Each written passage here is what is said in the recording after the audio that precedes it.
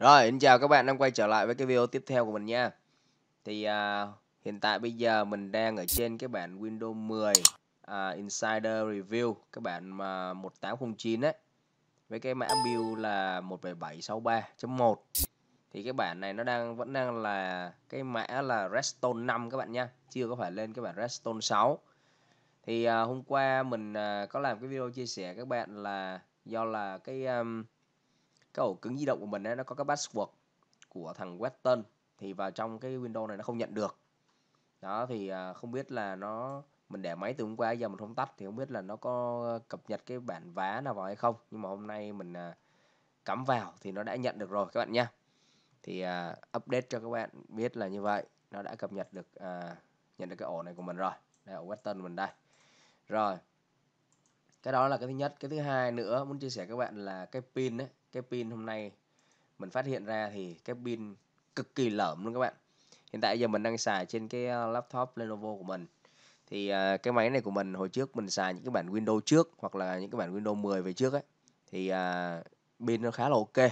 Pin nó rơi vào khoảng từ 2 tiếng cho đến 2 tiếng rưỡi thì mới hết pin. Nói là hết thôi nhưng mà nó phải khoảng khoảng cỡ gần 20% nữa. Nhưng mà đối với cái Windows này mình không hiểu sao mà cái pin sạc đầy 100% thì xài khoảng cỡ gần một tiếng đồng hồ thôi. Chính xác là khoảng cỡ à, 40 cho đến 45 phút thì pin nó còn chưa được 10% nó chỉ khoảng cỡ 9 hoặc là 8% thôi. Đấy thì mình phải sạc liền. Thì không biết là các bạn có bị vấn đề này hay không? Mình đang nói đây là vấn đề của mình nha còn không biết là tất cả mọi người có bị hay không thì mình không biết. Rồi đó đó là đối với vấn đề về pin. Thì à, muốn chia sẻ các bạn một số điều như vậy à, hôm nay thì à, mình mới ngồi lục lại cái đống phần mềm của mình. Thì mình mới nhớ lại là mình có một cái phần mềm hồi đó mình mua của hãng à, Cyberlink Power ấy. Cái phần mềm tên là Cyberlink Director. Thì à, đây là một phần mềm biên tập video khá là hay. Hồi đó mình mua bản quyền luôn. Đây mình còn cái build này cho các bạn coi. Đây đây là cái à, tên mình order nha đây, cái mã số order này này mua từ năm 2016 4 tháng 9 2016 mình mua với cái giá là 59.99 đô lúc nó đang sale các bạn ạ. Còn cái giá chính thức của nó là tới 101 hay 120 lận cơ. Cái lúc nó đang sale thì mình mua cái giá này. Đó, có số CD key đồng hoàng CD key bản quyền đồng hoàng. Thì à, lâu quá không xài hôm nay à, lục lọi thấy cái này. Cho nên à, lấy ra cài vô xài. Thì thực chất ra cái bản này à, bây giờ nó đã ra tới cái bản à, mười mấy rồi cơ, chứ không phải 14 nữa mình không kiểm tra nhưng mà hình như là 15 16 gì rồi. Nhưng mà mình à, không có tiền để nâng cấp, cho nên thôi, xài bản cũ đỡ vậy. Bây giờ cài lại cài lại bản cũ xài. Kệ nó cũng chả cần cái gì nhiều. Chủ yếu là sao cho nó chạy ổn định là được rồi, đúng không các bạn? Phần mềm bản quyền xài nó vẫn ok hơn nhiều.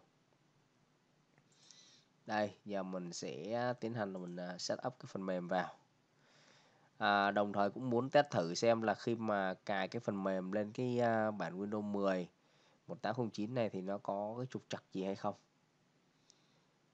À, các bạn chờ xíu để cho nó chạy cái file setup lên nhé. Mình cảm thấy là nó gọi lên khá là lâu. Cái cấu hình máy của mình cũng không đến nỗi là tệ lắm đâu các bạn. Đây các bạn nhìn này Core i5 6200 tốc độ 2GB và RAM 8GB có card màn hình rời đàng hoàng các bạn nhé. Nhưng mà biết này sao mà lốt lâu dữ.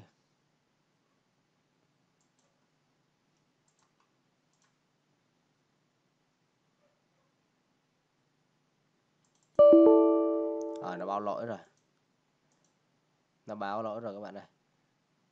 Đây, nó báo lỗi rồi. Không biết là nó vì lý do gì mà nó không chạy mà nó còn báo lỗi.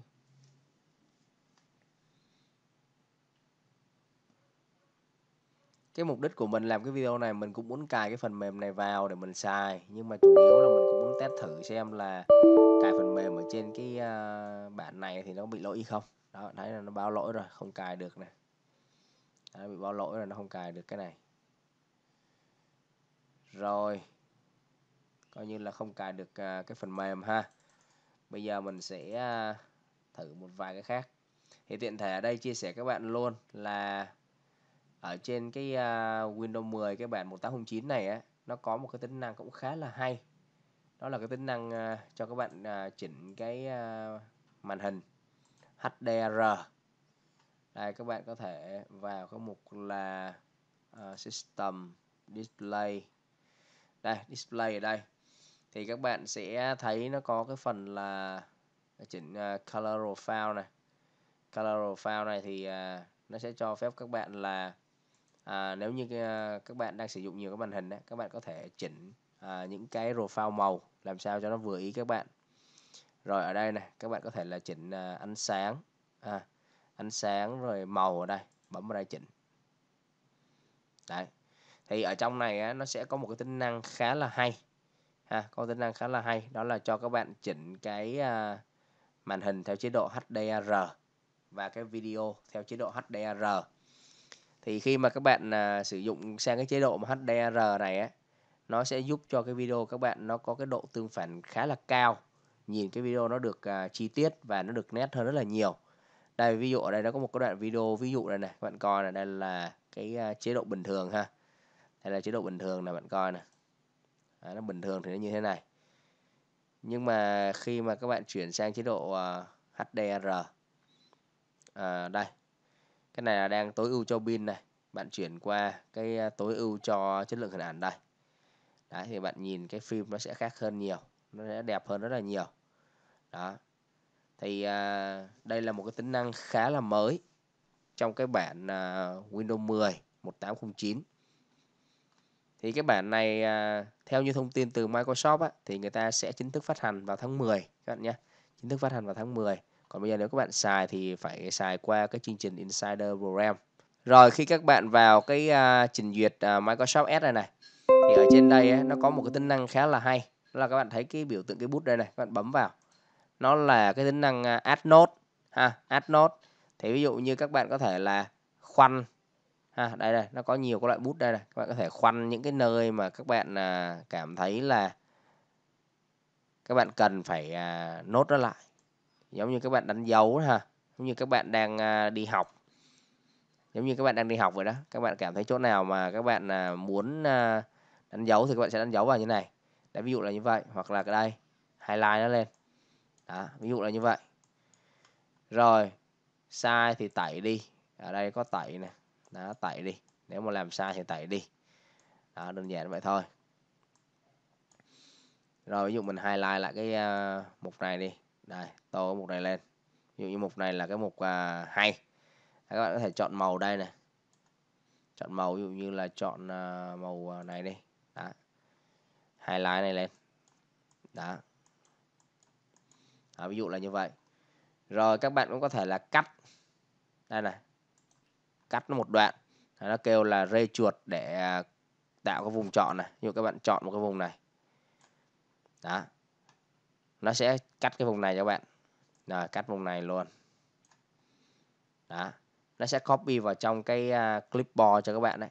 Nó sẽ copy vào trong cái clipboard. Thì bây giờ bạn chỉ việc làm sao bạn? Bạn xuống đây này bạn ấn cái phím à, Windows và chữ V đấy để cho nó hiện cái clipboard lên. Bởi vì trên cái bản à, 1809 này nó sẽ lưu rất là nhiều cái clipboard. Đấy, ví dụ như bạn muốn copy cái này mở này ra. Rồi sau đó cái này là một cái hình bạn chỉ cần mở cái phần mềm nào đó ví dụ như là pen chẳng hạn đi. Pen bạn mở ra. Rồi bạn paste nó vào thôi. Đây. Paste nó vô. Đó thì bạn đã có một cái. Rồi tiếp tục cái này đưa xuống. Bạn lại window và chữ V một lần nữa. Bạn chọn cái dưới này. Rồi bạn lên đây bạn lại paste nó một cái nữa. Đó là hai cái. Đó, rất là đơn giản là như vậy. Rồi quay lại cái S này khi mà các bạn đã có cái này rồi các bạn chỉ việc là lưu này lại thôi. Đó, lưu cái này vào bạn có thể là lưu vào OneNote hoặc là lưu vào favorite cũng được. Đó.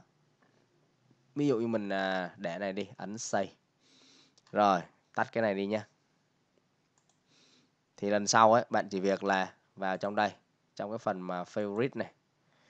Đây nó có start bạn bấm vào đây.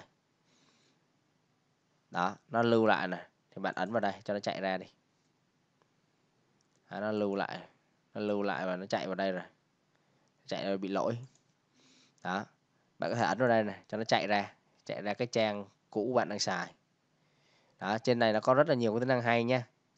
Đó, ví dụ như bạn mở ra nhiều trang nhiều cái tab khác nhau này. Đó, ví dụ như mở tab này chẳng hạn. Đó là bạn có hai tab đúng không? Hai tab bên này bạn chỉ việc ấn vào đây. Đó, nó chạy ra cái nó sẽ gom này lại nó sẽ gom này lại một cái bạn bấm vào đây nó sẽ hiển thị ra tất cả những cái tab mà bạn để trong đây này bạn chỉ việc là chọn cái tab nào đó, nó sẽ mở ra cho bạn thôi nó làm như thế này để cho chúng ta à, gọn gàng cái này lại, nó không bị tràn lan nhiều cái tab ở đây nhìn cho nó đỡ bị vướng rồi, ok, thì à, hôm nay có một số điều muốn chia sẻ các bạn trên cái bản à, 1809 như vậy thì hy vọng rằng sẽ hữu ích với các bạn nếu như các bạn đang sử dụng cái bản này nhé. Thì cái video này mình xin tạm dừng tại đây. Cảm ơn các bạn đã theo dõi và hẹn gặp lại các bạn trong những video tiếp theo nhé. Bye bye.